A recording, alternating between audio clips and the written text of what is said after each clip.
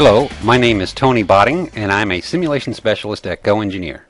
In this video we show what power spectral density or PSD units mean for a random vibration simulation. The random vibration analysis in SOLIDWORKS simulation can accept base excitation input in the form of power spectral density or PSD as shown here. There is a base excitation in the vertical direction of 1 g squared per hertz scaled to this graph of a PSD input curve.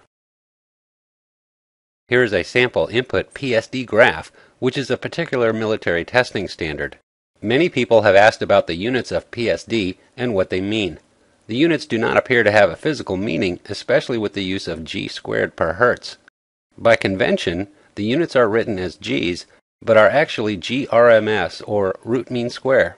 So here's a small story about how to get to the power spectral density units. Suppose you have a sample of an acceleration time history in g's like this, and you want to estimate the response of the structure to the acceleration. You could use modal superposition as a transient analysis in simulation, but you'd have to enter all the data, of which there could be hundreds of thousands of points over the time span. Additionally, you'd only get 5 seconds worth of response of the structure. Instead, you can use the random vibration analysis in simulation. You can obtain the output as the root mean square or RMS response of the structure in terms of displacement and stress. There are some other criteria to consider the input as random, which we'll cover in later quick tips. For random vibration, the question is how to get the signal characterized as a PSD for input. Here's a manual calculation example using a technique called the bandpass filtering method. The acceleration data can be passed through a filter to isolate the frequencies from 10 to 20 Hz, and you get this graph we need to calculate something called the overall level or GRMS of this frequency band. You can calculate the GRMS by using this little equation. Take all the data points, xi, square each one, and add them all together. Now divide by the number of data points. Now take the square root, and you get the GRMS value or overall level of the frequency band. We put this information in a table like this. Here's the filtering range, Here's the center of the frequency band, and here's the GRMS.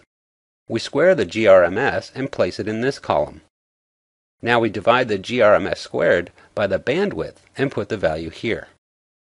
That's the PSD value for that band of frequencies. Let's go back to the original time history acceleration, but this time filter from 20 to 30 Hz, and you get this graph.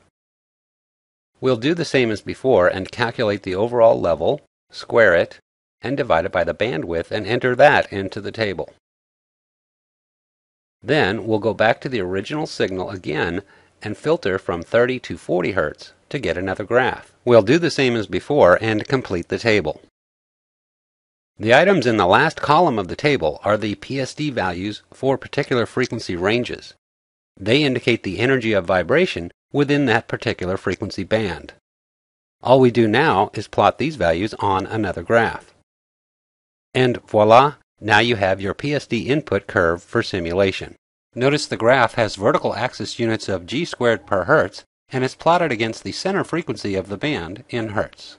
Many thank yous go to Mr. Tom Irvine of VibrationData.com for examples and materials used in this video. In this video, we've shown what the power spectral density or PSD units mean by way of an example calculation.